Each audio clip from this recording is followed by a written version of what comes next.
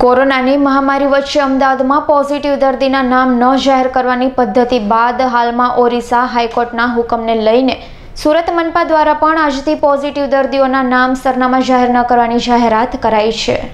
Lockdown દરમિયાન પાલિકા દ્વારા કોરોના પોઝિટિવના નામો જાહેર કરવામાં આવ્યા હતા. જોકે આજથી સુરત મહાનગરપાલિકાએ પણ કોરોના પોઝિટિવ દર્દીઓના નામઠામ જાહેર ન કરવાનો નિર્ણય લીધો છે.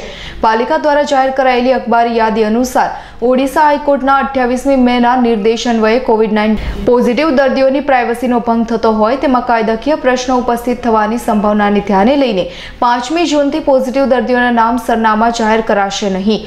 સુરત મનપાના જનસંપર્ક વિભાગ દ્વારા જાહેર થયેલી યાદી મુજબ નવા વિસ્તારોમાં વખતો વખત મળી આવતા કેસોને ધ્યાને રાખી માઇક્રો ઝોનિંગ એક્ટિવ સ્ક્રીનિંગ અને સર્વેલન્સ અને અન્ય નિવારાત્મક પગલાં સહિતની કામગીરી હાલ જે રીતે કરવામાં આવે છે તે જ રીતે ચાલુ રહેશે. Bureau report, Surat.